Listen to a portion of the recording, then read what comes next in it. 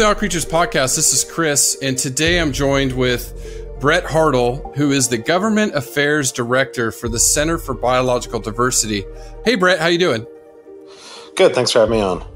No, it's wonderful. Thank you so much for agreeing to uh, do this interview.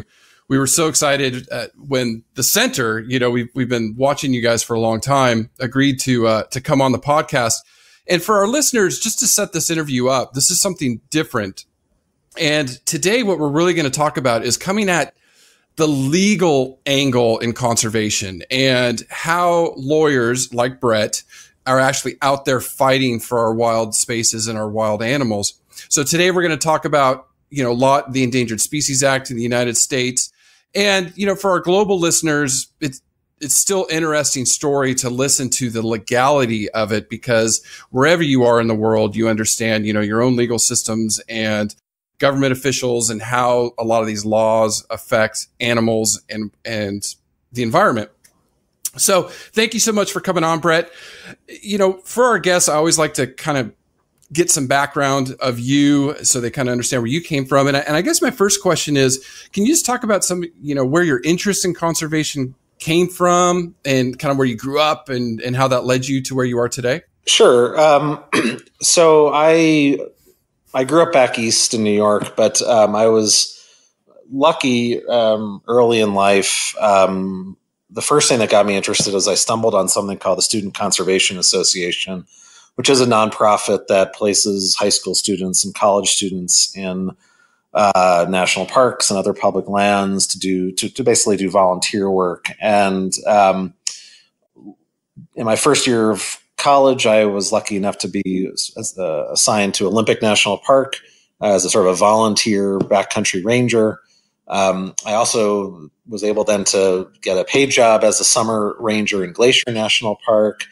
Um, and in, especially in Glacier National Park, one of the big issues is the conservation of grizzly bears, uh, which are, of course, a threatened endangered species or threatened species that's protected by the Endangered Species Act. And it was sort of my first exposure to to recognizing that there was some legal framework larger than I really mm-hmm. understood that governed the management of the wildlife and really set the rules for how people behaved in the parks and uh, started to get me thinking about uh, you know conservation. Um, I after and during college, um, I, I had a couple of different summer jobs. I ended up working in Hawaii um, and in particular um, on the island of Kauai uh, uh, on endangered seabirds and endangered songbirds. I was very lucky to get um, to spend four months up in the Northwest Hawaiian Islands, which is these little dots of land that stretch out from the main Hawaiian Islands about a thousand miles to Midway, and mm. uh, these amazing protected seabird colonies with Hawaiian monk seals, which are endangered, mm-hmm. uh, Hawaiian sea turtles but doing all of that work, and, and in particular in Hawaii, um, you know, I started to appreciate that there were lots of impacts to the environment that were sort of beyond the scope and control of, of, of sort of where I was. So, you know, mm-hmm. the Pacific Northwest Hawaiian Islands are dead set in the middle of the garbage patch. So every day, you know, you wake up and there's more garbage on the beach coming from all over the world and and you it's in some ways a fairly helpless feeling because nothing you do there can solve it even though you you try to clean it up every day and we would ship it off island back to the to the main islands. Um, and I, I started to appreciate that if you really want to engage in conservation one of the most important roles is to um, understand that legal framework and to interact in the policy and legal world because it's those decisions, you know, those laws and rules that are set up that ultimately affect how much we're able to actually, you know, help the environment. Um, so I, I, basically switched from uh, being like a biologist and a park ranger, and eventually decided to go to law school because I wanted to understand and figure out how I could help uh, really make things bigger in a in a sort of a bigger picture way. No, I mean that's amazing because I know you, you know, and you're looking at your bio, you have a, a BS or bachelor's degree in conservation biology. So to turn that around and apply it to law is fascinating. I mean, I was just fascinating looking at, at your bio. So I, I guess my next question would be, you know, how did you come to work for the Center for Biological Diversity? Um, yeah, so I was uh, again fortunate. Um, right after law school, um, there's a, a, fellowship program. It's called the Knauss uh, Sea Grant Fellowship, and it's an it's a very old um, program that's run by uh, NOAA, the National Oceanic and Atmospheric Administration, um, and it places graduate students, law students, um, for one year fellowships in Washington D.C um, some of them are on the Hill, some of them are in the executive branch, and it's it's a a, a really great fellowship. But it lets students that have just graduated really dive into the policy world um, at a fairly high level. So I was lucky. I was placed in the House Natural Resources Committee staff um, in the Congress. I was working for the Democrats under then Representative Ed Markey. He's now the senator from Massachusetts. Um, so I spent a whole year immersed in uh, the politics and policies that impact um, everything having to do with the oceans, but also endangered species, public lands, uh, you know, drilling, uh, the Keystone XL pipeline, um, and I just learned a great deal about how uh, Congress works and doesn't work. mm-hmm, and, mm-hmm and then after that, I, I had a one year fellowship at the Society for Conservation Biology, which is a, a professional society of scientists that do conservation. Um, uh, again, focusing on sort of national policy issues affecting uh, endangered species and wildlife. Um, and then uh, joined the center about uh, back in 2013, and I've been there ever since. So I, I, know this was on the list of questions I sent you, but it, it, made me think. You know, do we need more lawyers in environmental law? You know, like you're talking about, uh, you know, policy making things like that. Because I'm I'm just thinking of a lot of our listeners that reach out to us and they want to work in conservation, but they're they're looking at different careers, whether they go out in the field and do research or follow the path that you followed. So, could we use some more lawyers in that area? Um, you know, that's a great question. I would say that you don't have to be a lawyer um, to uh, interact with policies, politics, or the law. Um, and in fact, I, I, I teach classes uh, to undergrads and grad students and, and science majors. And I, I actually think what's more important of the two is having sort of a, a legal literacy, even if you are not a lawyer. Um, because mm-hmm. what's really important is for scientists, I, I, think, is to be engaged in, in the policy arena. I, I, always think about folks like you know Jane Goodall, um, mm-hmm. you know, great scientists, but also recognize that you have to engage with people and you have to try to push society to change.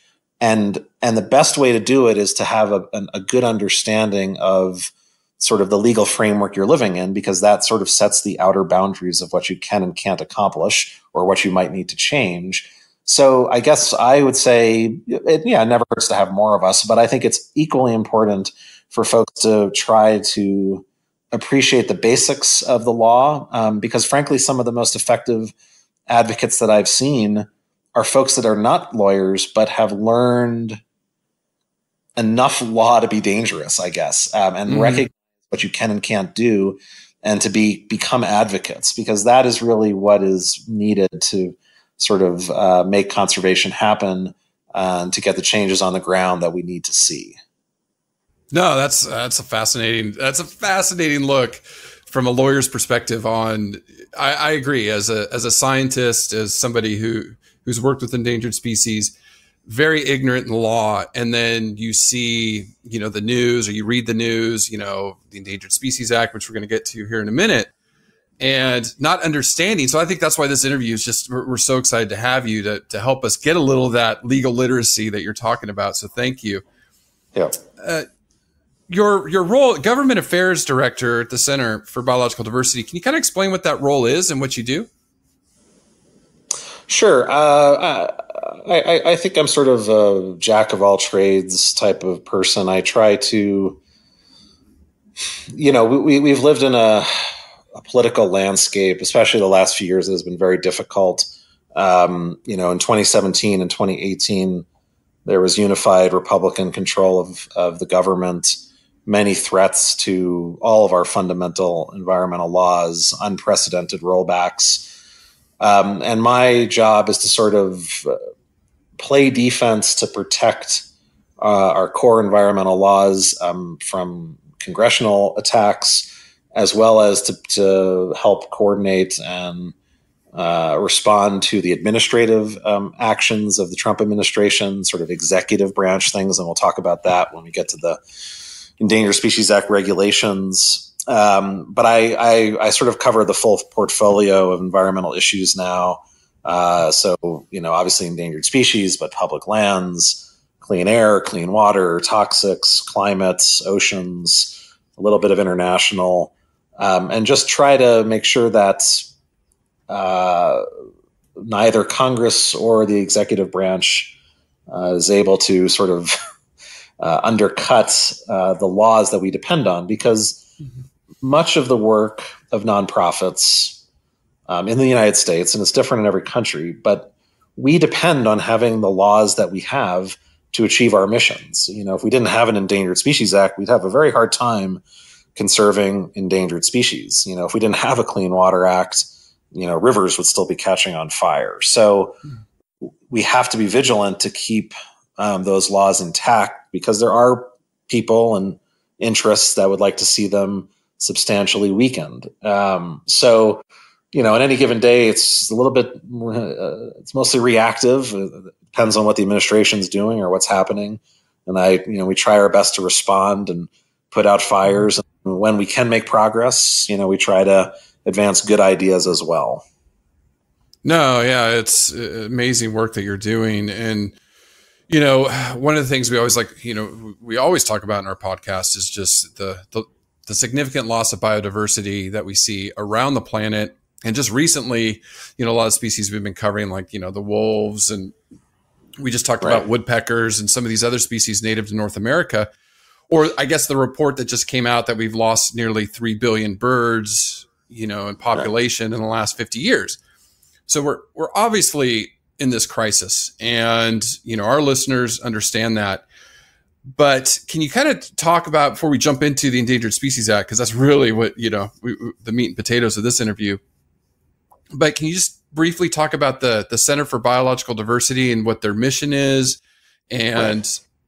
you know their role in trying to protect our native wildlife?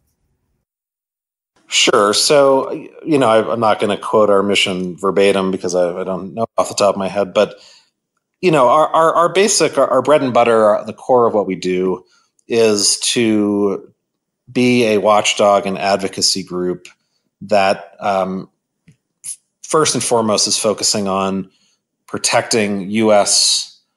declining, imperiled, endangered wildlife and plants, right? So, mm-hmm. you know, we are focused the most on keeping species in the United States from going extinct. Um, we have a, a, an international program. We do work on a subset of of international species, including, you know, for example, the critically endangered vaquita porpoise in Mexico, which is close to almost to extinction. Mm-hmm. Uh, we work on rhinos and pangolins and elephants, but but our primary focus has been to protect endangered species in the United States using the law, using legal tools and advocacy to really achieve conservation um, in the real world. Um, so, getting species protected, getting them on a road to recovery, making sure that the federal government and state government and private actors don't harm them. Um, and obviously, beyond that, you know, we also care about the many of the indirect threats. So we, you know, we, we work on protections of public lands, but there's always some tie back to uh, a biodiversity component because that's what we're most focused on. So we we work on many many environmental issues, but in, in some ways it always does come back to wildlife and plants and keeping them from going extinct, and then the logical outgrowths. So, you know, we have a large pesticide effort as well because pollution, pesticides are a massive threat to biodiversity. Mm-hmm. You know, um, so it, it's a it's a growing we're a growing organization. We we try to take on as more than we can chew, um, and we use the law. Uh, you know, we file many lawsuits. We we we go to we lobby in Congress. We advocate in the media and, and on the ground and grassroots, all with the goal of trying to conserve species. And, and you know, and yeah, obviously we have this huge, huge biodiversity crisis right now. Um, I mean, it, I hate you know using the, the the the sort of phrase, but it's like, yeah, this is a mass extinction. It's an extinction crisis. Um, it's it's very scary and dangerous for you know not only the planet but obviously our own civilization to be wiping out biodiversity. Um, and we you know try to do our part in stopping that. Right, right, and I yeah, I mean we've near, covered nearly almost hundred species now, endangered. You know, most of them are endangered, and each species we cover and we look at the pressures they're facing, and it, it it's really horrifying. You know, it's absolutely yeah. horrifying when you look, and it's on every continent. It's not just you know yep. you always look at Asia or Africa or something, but it's here in North America. You yep. know, so yeah, it's critical the, the the Center for Biological Diversity what they're doing. So to set kind of set up before we we jump into the Endangered Species Act, I, I would kind of ask ask it like this, because obviously the Trump administration's goal, and they're they're clear about it. They've come out in the media and said it is to really kind of gut the Endangered Species Act and some of these other acts that are used to protect our clean water, things like that. Yeah. Prior to the Trump administration, how well was our legal system working in protecting wildlife or our ecosystems? Um, well, uh, the Endangered Species Act is a very successful law, um, and we'll we'll talk about why in a bit. But you know, when it is you know working and in place, the Endangered Species Act has prevented the extinction of about 99% of the species in its care. So if you get listed as a plant or animal, you have a pretty good chance of surviving. Um, you know, occasionally they you know species are lost to extinction. It does happen, but that is actually you know the, the, the current rates that we're protecting them is sort of better than better than average. Um, about 50 species in the last 50 years have gone extinct while waiting to be protected under the Endangered Species Act, um, and that illustrates sort of one one reality, which is even before the Trump administration, there there were still attacks on the Endangered Species Act, and it is unfortunately a, a fairly political, partisan issue now. Um, there are people, there are special interests that oppose protecting endangered species. They see it as a threat to economic activity. Um, but if wildlife is listed or a plant is listed under the act, it has a much, much greater chance of getting on a road to recovery uh, than if it doesn't. Um, so it is a very effective law. Uh, the good news is is that it's it's still here.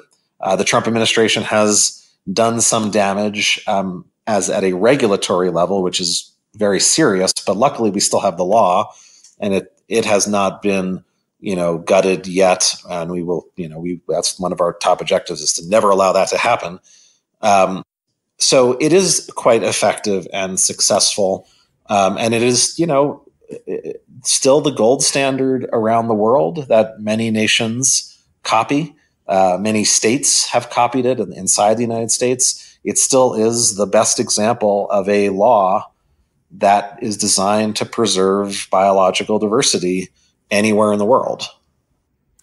Right. And before, I guess, you know, I kind of want to ask you, you know, what do you think Trump's motives are? I mean, I think I know profit, but before we get there, can you kind of just explain to our listeners, I guess, how the Endangered Species Act works? Sure. Yeah. So, in a nutshell, um, the Endangered Species Act works, and it works really well for a couple key reasons. First, when it comes to decisions about listing and, and a few other provisions, there's a very, very clear mandate that says follow the best available science. So don't look at economic considerations of the day. You know, if a species is on a path to extinction, it's on a path to extinction. That's what the science says. The second thing that the ESA does, Endangered Species Act does, is there's a prohibition on take. And that means take means to kill, harm, injure um, a species that is listed. And this is an absolute clear command that no one, private party, federal government, state government, can kill endangered species as a basic rule. Um, unless they follow certain processes. And the, next key process is if for some reason you have to harm endangered species, you must consult with the Fish and Wildlife Service to make sure that your harm is properly mitigated, minimized, and does not put a species on a path to extinction. That's called the Section 7 consultation process. But what's really important is to just recognize that the, the reason this law is so successful is that philosophically, and the Supreme Court has said this way back in the day, the Endangered Species Act's premise is that we should, as a society, um, across all of the federal government, prioritize the conservation of endangered species and to recover them whatever the cost. And that's a whatever the cost is, is a direct quote from a Supreme Court case in 1978 called Tennessee Valley Authority v. Hill, which basically affirmed that the Endangered Species Act was sort of absolutist um, when it comes to avoiding extinction. That is the most important mandate that we have, um, basically, as a society. Uh, so it works well because it doesn't compromise at the outset.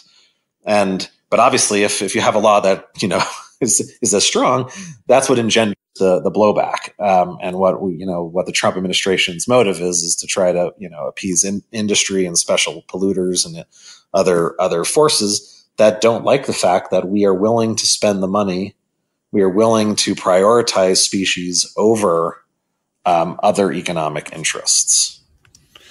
Yeah, I mean, it's uh, listening to you talk. So it, it's from our standpoint, people that live and breathe conservation, you know, in your standpoint in the Center for Biological Diversity, you know, like you said, we are in this mass extinction event. I mean, all evidence, all scientific evidence, proof of species loss, like you said, Vaquita porpoise is pretty much extinct or will be extinct very soon. It, you know, I know there's people fighting to try to save them, but you know, it's frustrating for us and uh, you know the average American or say the average citizen in another country that their government, like say Brazil, you know, right now the Amazon's on fire, it was on fire, and it still is.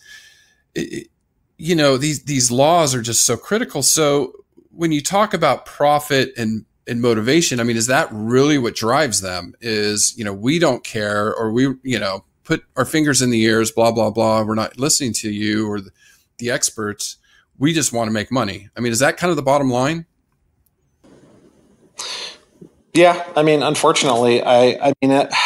It's always tough to sort of, I don't know, attempt to rationalize or you know speak for what, their intentions are, but it's hard to think of another justification other than the you know a, a short term interest to increase you know profit margins. Um, you know the Endangered Species Act, you know, does have flexibilities. It does allow uh, for compromise. There are many ways that you know there are 1,700 endangered species in the United States now, and over the last 40 something years, our economy has grown massively, as has our population. Yet we can still recover species. Uh, just today, they announced the delisting of the Kirtland's warbler in Michigan as another recovered species. Um, you know, it took a lot of money. It took a lot of effort to make it happen.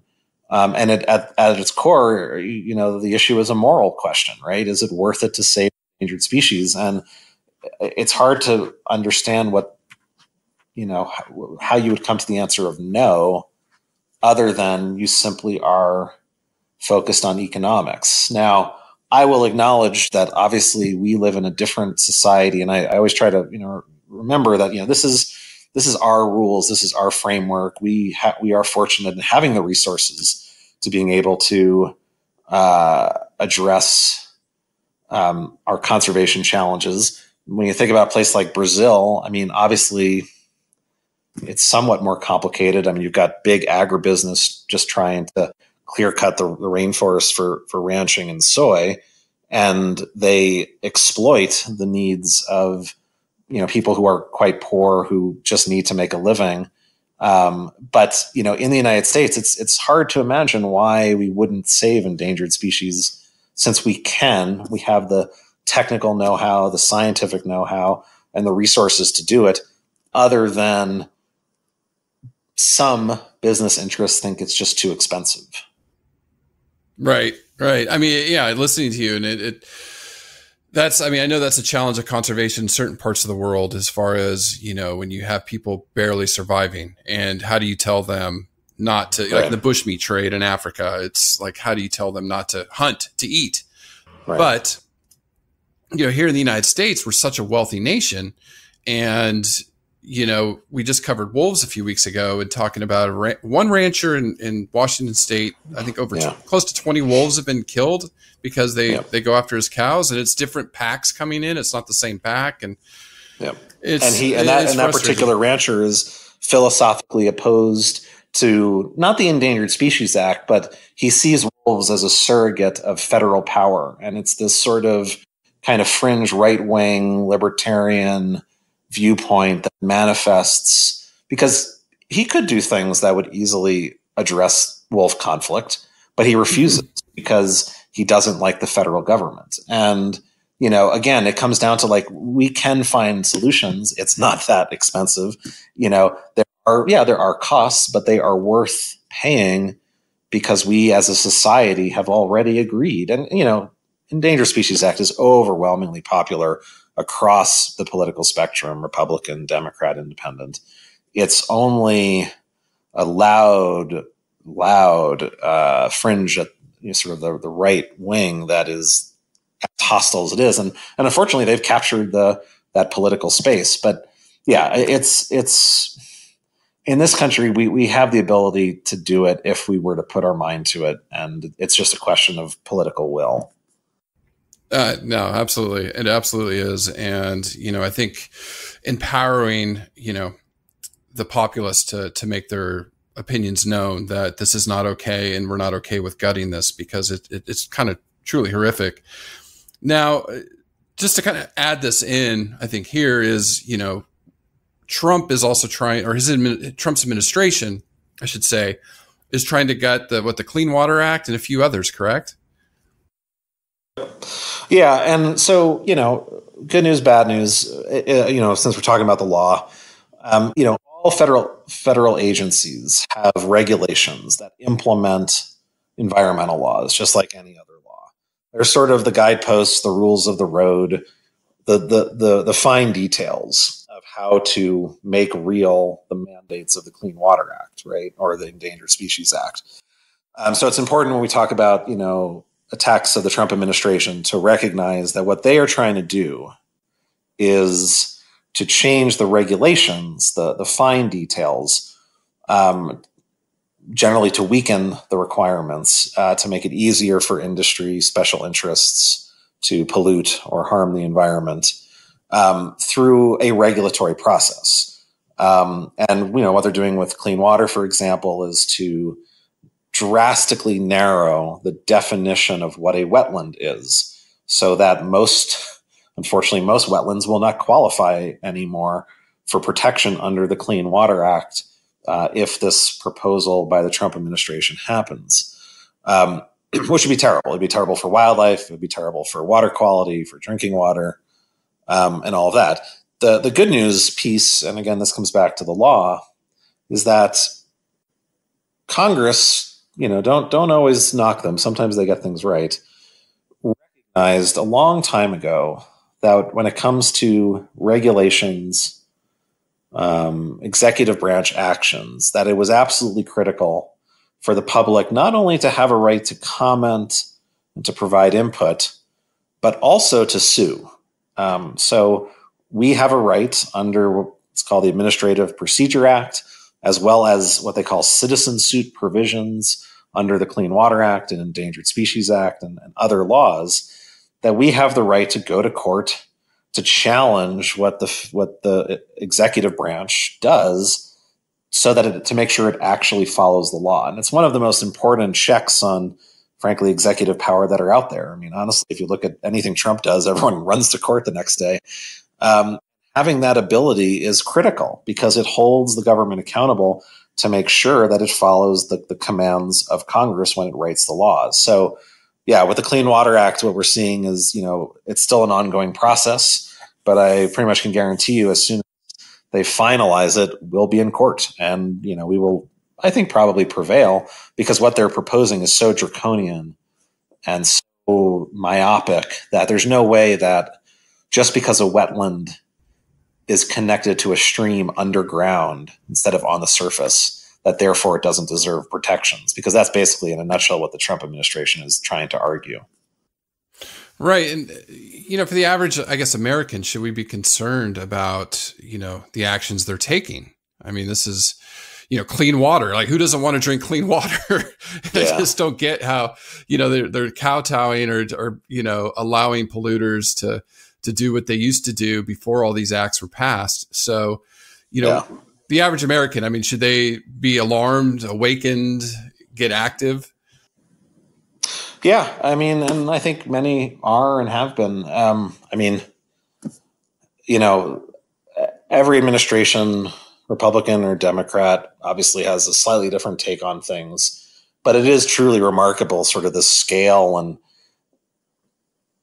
sort of ferocity of what the Trump administration keeps doing. Like they just they just don't seem to care what what even reasonable people think. I mean, it's like it's punitive. It's it's like it's petty I mean, the, the, the things that they're proposing gutting, you know, are, have had long-standing bipartisan support. Um, so you know, yeah, if you if fifty percent or more of all wetlands in the United States lost protection under the Clean Water Act, you would think that that would most people would be like, wow, that's mm-hmm.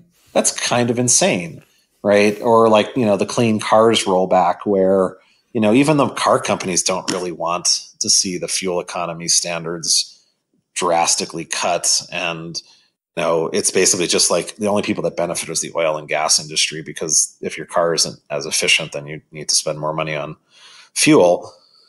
Um, yeah, I mean the the scope of the attacks I think has galvanized the public in a way that we haven't seen before. So that you know people are speaking out in huge numbers and protesting and, and trying to shame this administration considering what they've done. Hmm. Hmm. And so, getting back to the Endangered Species Act, it's you know I, I guess if you could kind of maybe bust some myths or what people think about it. Like, how is that usually enforced? You know, when, um, like you said, species get listed or delisted. So when a species listed, what does that mean? And I guess when you just said this war- warbler out of Michigan just got delisted, what does that mean? Right. So, um,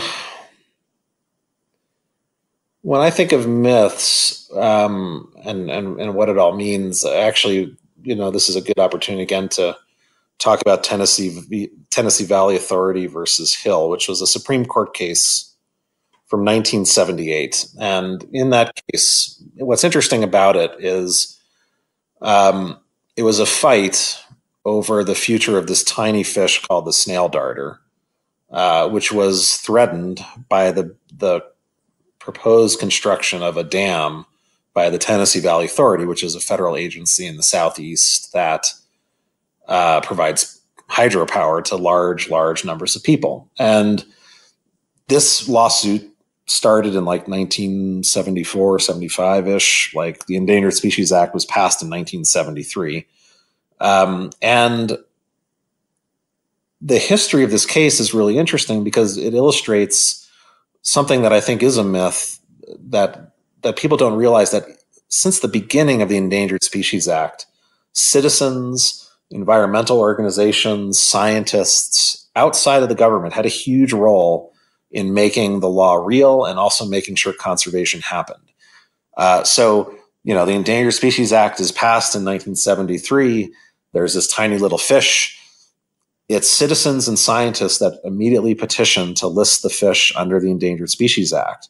It wasn't the federal government doing on its own. It was only because um, a group of citizens and scientists petition for it. Um, and then when it was listed, um, after that citizen involvement, again, it was ordinary people, scientists, environmental groups that then said, but if you build this giant dam, um, the fish will go extinct. Uh, and it was, again, citizens going to court saying, this is going to cause the extinction of this fish. You can't allow this. And that's when the Supreme Court said, you know, basically, look, yeah, this dam is almost built, but Congress was absolutely clear that we are supposed to recover and save endangered species, whatever the cost.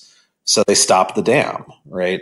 Um, and in a you know sort of it's like a it's a good story partly because just you know the species is now almost at recovery levels it's all the conservation that has gone into the snail darter in the decades since um, it, it's probably ready to be delisted at this point because it's now thriving again um, but throughout the history of the act from the beginning up till the modern day it really has been scientists and ordinary people um, and, and environmental organizations that have held the government accountable to make sure that the law works well. And so, like, one of the big myths you hear from the other side is, you know, all these pesky environmental groups are abusing the legal system and it's just a scam, you know, designed to enrich the groups themselves. But, but, but no, really, since the beginning, it's been it's been the role of these outside parties, including you know the Center for Biological Diversity and many others, that have gotten most species listed. uh, you know, we own our organization has gotten, depending on how you count, six hundred ish, seven hundred ish species on the list. Um, you know, that's about a third of them. Um, so many have, have have helped with that effort because, frankly, agencies they feel political pressure to not do anything, and it re- they require constant prodding um, and constant oversight to follow the law, and that's and that's not even unique to the Endangered Species Act. Uh, the Clean Water Act has a citizen suit provision. The Clean Air Act has a citizen suit provision, and it has always been watchdogs going out after people that are breaking the law, including the government itself, that have made these laws work so well.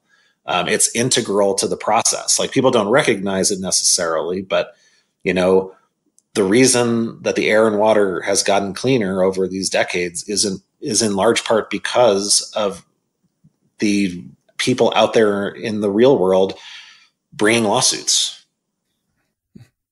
No, it's so true. I live, I grew up in Southern California, and I, I remember the days of smog and the brown haze, not being able to walk outside and breathe or run, uh, you know, going up into the mountains and looking, and it looks like just a brown cloud over the LA basin. I mean, it was horrific, and that's eliminated now, or almost uh, eliminated. You don't have any uh, smog days. So yeah, that's all important. It's all important. So you talked about the the Center for Biological Diversity listing species, but can you kind of talk about, uh, you know, are you involved in any lawsuits right now uh, with the Endangered Species Act? Oh yeah, many. I mean, they, they, take various forms, and, and, you know maybe this is a good a time to talk about something like you know the Rosemont mine. It's a good example of you know once a species is listed, then that triggers all sorts of obligations for you know the federal government, for private parties in terms of again harming species that are on the list. Um, so a good example of a, of a legal fight that we've been having is there's this large proposed mine in southeast Arizona in the Santa Rita Mountains, um, uh, copper mine that would be this giant hole in the ground, um, and that would cause all sorts of terrible things, such as water pollution downstream, harming the aquifer. It's upstream of the city of Tucson.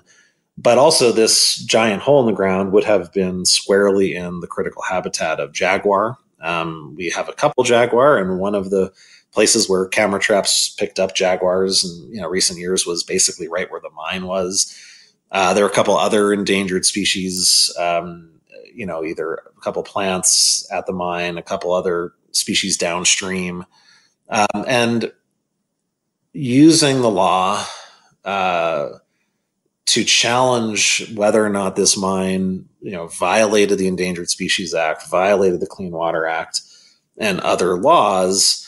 Um, you know, we we recently had a court victory where the judge agreed. Um, not on, we haven't finished the case, but but basically, you know, we we've won a really important round of the case and stopped the mine from happening. They were they were days from starting groundbreaking operations, and now that's all on hold again. Um, so, you know, there are many lawsuits that we are challenging either really badly proposed projects or other types of harm that are currently happening or are threatening in the future. Um, because obviously, if you want to get an endangered species on the road to recovery, one of the first things you need to stop to stop is like the really bad things that are hurting it. Um, so we, we we we we try to focus not only on getting them listed, but then we think about what can we do to accelerate their conservation um, and to get them on the road to recovery.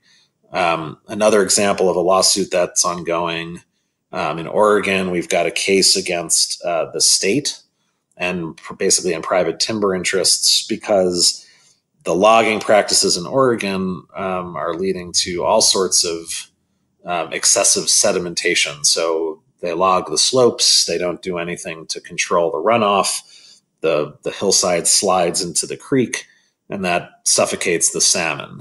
Um, there are there are many. We we file many lawsuits. We're not ashamed of that. Um, have a lot going at any one time, but but the basic idea is, you know, yes, we need to get them listed. That takes lawsuits, but then you know, then we want to see conservation happen because, frankly, until a species gets listed, often it's just neglected. And as much as we'd like to hope and assume that, um, you know, state fish and game agencies or other parties are doing a good job with stewardship. The reality is is that until things get kind of bleak and and or a species needs to be listed, it off they are often neglected. So they've been going through just this long, steady decline with like no no attention. And and that's really the thing that galvanizes conservation to get things going in the right direction again. No, yeah, it's it's fascinating listening to you talk about that, and I do want to talk about this this court decision in a second because it, it was the Animal Law podcast where you know I, I, heard that story, and I'll put the link in our show notes as well as the uh, the media coverage of the decision because by the time it was Mark and he was talking about another one of your lawyers, and that you hadn't got the decision yet, and then the decision came down after the podcast aired, and so I, I was excited to read that one. Uh, just for our listeners, real quick, I mean, how do you go about filing a lawsuit and, and kind of the legal process of that? What's just kind of the the basics of how that goes? I know, you know, there's a decision, then there'll be appeals all the way up, maybe to the Supreme Court, you know, but I don't think our listeners understand the the, the complete legal process of, of how this works. Sure. Um, so lawsuits can take many forms, but perhaps the most relevant and interesting piece of it from the perspective of a non lawyer, which I think most folks don't know, is that when you go to federal court to challenge, let's say, a federal agency that's violating the Endangered Species Act or the Clean Water Act or, or a private party for that matter, the the federal courts have said and the supreme court has said that in order to go to court you have to have what's called legal standing. Um, and the, the basic idea of legal standing is that only people who have a legitimate interest in an issue are actually allowed to file a lawsuit. And what that means is just because you are a concerned citizen doesn't mean you're allowed to go to court and say challenge the Trump administration's latest terrible thing when it comes to endangered species. But if you have a personal, concrete injury from that, um, you know, thing you're ch- wanting to challenge in court, then you can go to court. Um, so, for example, um, I, in my own personal spare time, um, I'm a wildlife photographer. I love travel. Um, I've gone to Africa many times. I have a personal injury when the Trump administration, let's say, does something really terrible when it comes to trophy hunting. Because I have seen lions and elephants and rhinos. I've seen forest elephants. I've seen leopards and and what and, and many many species I am personally harmed when the Trump administration decides to greenlight trophy hunting again because it means there will be fewer elephants and lions and leopards in the wild. And it diminishes my ability, the likelihood that I'm going to see wildlife. And I may be seeing, you know, depleted wildlife because of bad conservation practices overseas.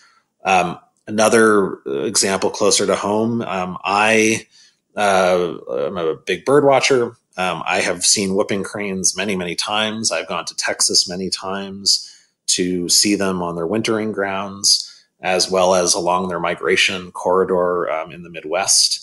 So something like the Keystone Pipeline, if it were to be built, harms me because it threatens the whooping crane. And if there are no whooping cranes or fewer whooping cranes, then that means that my personal interest um, in actually observing wildlife that I take personal satisfaction from um, is diminished. So, in order to go to court, the, the biggest threshold thing in order to do it is to actually have legal standing. And that means that that's why organizations need members. Um, that's why we depend on, you know, working with scientists and wildlife enthusiasts and ordinary people all around the country and the world is because you can't just go to court and challenge something you don't agree with unless it actually harms you. So, you know, we are a national organization that focuses on wildlife nationwide.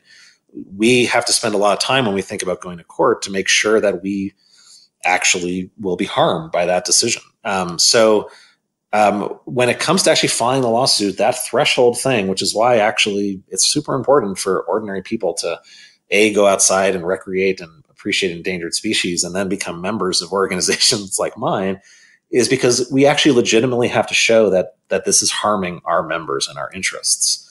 Once once that's done, then it's just a matter of filling out some paperwork um, and hopefully having smarter and better attorneys than the government um, and fighting it out to the end, however long that may take. Um, you know, we have a good success rate. It's still in the 90% range, but, um, you know, that's, you know, once you get to the mechanics of the lawsuit, it's, it's, um, fairly dry and, un, and uninteresting until you get to either a victory or a defeat. Um, but that, that most important point is that, and, and it comes back to like your first question about, you know, what's, what do you need as more lawyers?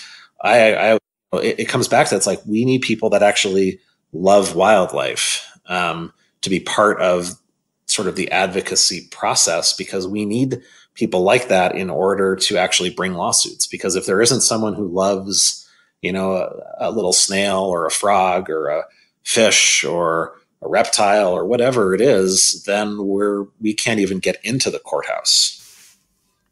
Right, right. No, it's uh, it's still fascinating how it all works. The, just quickly, you know, we're closing in on an hour, and I uh, wanted to kind of touch upon that the copper mine, the Rosemont copper mine. And just quickly, you know, talking about the decision, it was the Santa Ritas versus U.S. Army Corps of Engineers. The, the articles I read, they said this was a monumental decision for, for the wildlife in that area. Is that your read on it? Like, was was it a really good decision uh, that came out of that court? It was, and, and what's interesting about that decision, um, you know, when you do go to court, um, you know, you don't, you never want to put all your eggs in one basket. Um, you want to have as many solid, credible legal arguments that you can muster, uh, because you never know. I mean, judges are people, and they may not agree with one of your arguments. Um, so we, we basically we're challenging this giant copper mine. It's on public lands. Um, we had three basic arguments. One the mine approval did not comply with the Endangered Species Act. Two, the mine did not comply with the Clean Water Act. And three, the mine did not comply with the Mining Act, which is this old, antiquated law from 1872 that is just so pro mining. It's very, very, it's very bad law. Very hard to fix because the mining interest is powerful and entrenched. But the judge said, um, basically, under the mining law, if you have a what's called a legitimate claim or patent, sorry, there's a bird calling in the background. Um, oh, that's okay. It's okay. If, if you have a legitimate mining patent, which means a claim to a valuable mineral, you are entitled. This is strange. Basically, to have that public land, this national forest land, it's almost de facto your land, and we can't stop mine. Um, it's a very pro mining law. So Rosemont found, you know, a very, very uh, valuable deposit of copper. Um, there's no doubt about that. But in their mining claim and their application, they proposed that they would take the tailings, so the mine waste, the rubble, and dump that waste on sort of a nearby area of land. I think somewhere in the order of like 3,000 acres or so. So not a mm-hmm, mm-hmm. pile of rocks, which would, I think, effectively bury this creek, um, destroy a watershed. And the judge ruled that under the mining law, that mining company also had an obligation to show that the disposal lands that they wanted to just throw their waste on were also valuable mining claims. Because, yes, Rosemont, you may have a right to mine, but you don't have a right to pollute other land around the mine, um, which no judge had ever ruled on um, in that way. So basically, saying, yes, that's true, you get 20 acres to dig your hole in the ground and maybe expand it. But that doesn't mean that you're entitled to then de- despoil the rest of the national forest just because you have a valuable mining claim somewhere else. And and effectively, you know, if you if they can't put the mine waste on public lands, they're they're pretty much they're pretty much done because a massive amount of material like they they'd have to transport it you know a long way away at a, at a very high cost it may not make the mine viable so this ruling was in some ways very unprecedented because it finally put a limit on the mining law which in general is a good thing. Like it's a very, very bad law. Um, and, you know, will help us fight other terrible mines elsewhere. Um, now, we are still waiting and we expect uh, also a decision on the Endangered Species Act issues, which we hope we will win um, in the meantime. But for the time being, basically, this mine is dead in the water. Um, if we win on the Endangered Species Act issues, all the better, because then it's dead twice. Um, mm. And you know, you want to you want to win as much as you can to make it as difficult for the other side to to you know overturn you on appeal because you know court cases are never certain. You never know until the judges rule how it's going to go. But the more things you win on, the better. Um, so this was a you know a huge victory uh, to stop this really terrible mine that you know they've been trying to build this thing for 20 years um, and we've beat them at every every junction, um, every attempt. But you know, they never stop, uh, which is you know another reality of doing this type of work. It's like you win, that's great. won on the Keystone Pipeline three or four times, but it never ends. Like we we just have to keep being vigilant and keep fighting because the other side still sees you know billions of dollars in future profit. Dollar signs, yeah, yeah. I was so, say dollar signs. So yeah, yeah, no, that's that's great. That's great work you, you guys are doing. Uh, you know, it, it's it's stories that need to be told and and and really promoted out there that people understand what's going on. You know, especially in the court system, how you're fighting for our, our like I said, wild spaces of wildlife. Uh, just a, just a couple final questions. I mean, mm-hmm. you, you kind of talked about needing advocates. So, you know, kind of Seen how does the Center for Biological Diversity? I know that it's a nonprofit, but how do you afford all these lawsuits? So, how do I guess how do they support you in your activities? And yeah. then how can our listeners help you in your activities? Sure. I mean, you know, we are like many nonprofits, um, pretty much a member uh, supported organization. Um, people give us money. Uh, we are a, uh, well, I would say no frills, but you know, you don't get a tote bag when you join the Center for Biological Diversity. You get, you get, you know, a thank you, and you get, um, you know, you get to know what we're doing, and and to know that you're helping with the cause. We try to, to you know, focus as much of our resources on doing good conservation work as we can. Um, and we've got you know many members and folks can can join you just go to biologicaldiversity.org um, and that's how you that's how we basically uh, stay afloat um, we you know again like i said i and this is you know sincere, we we also depend on our members um, having a passion for nature and for wildlife and wild places. Because again, when we do go to court, we have to turn to our members and say, hmm, "I hope somebody." loves jaguars out there and has tried to go see them and visited the Santa Ritas in Arizona or whatever the species might be, because we need, we are basically um, you know, we are supporting our members' interests as well in protecting wildlife and and and, and wild places. So, you know, without members, we we we can't do the work that we're doing um, in many ways. So. Um, yeah, you know, it's it's quite easy to join, and it's all self-explanatory on the website. So that's you know that's the main that is you know pretty much how we are are are funded.